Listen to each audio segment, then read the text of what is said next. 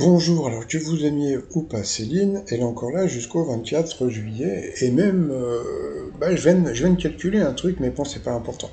Et euh, j'ai reçu un message sur mon adresse étoile 2 mediaoutlook.fr au sujet de Céline, puisque bah, euh, cette personne qui s'appelle Sophie m'a dit qu'il y a, c'est vrai qu'il y a beaucoup de messages de grossophobie, que ce soit sur, euh, sur Twitter et sous mes vidéos, et elle m'a demandé de retirer les messages grossophobes.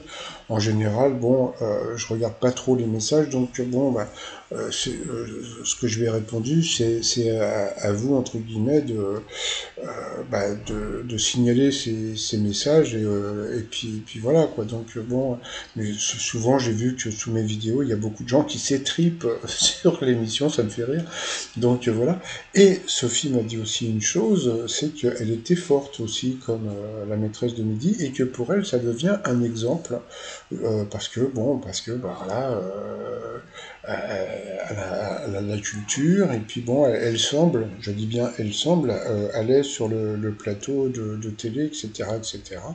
Donc voilà, peut-être que bon, d'être une entre guillemets star, une étoile euh, dans les douze coups du midi fait qu'elle se sent bien, mais bon, je pense que comme je le dis toujours, quand ça va retomber, ça va faire un peu un peu bizarre.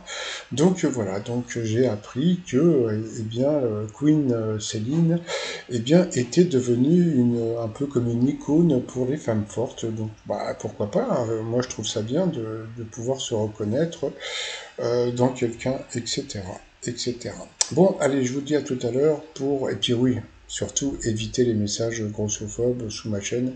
C'est vrai que c'est pas très correct par rapport à la maîtresse de midi. Allez, je vous dis à plus, bye bye.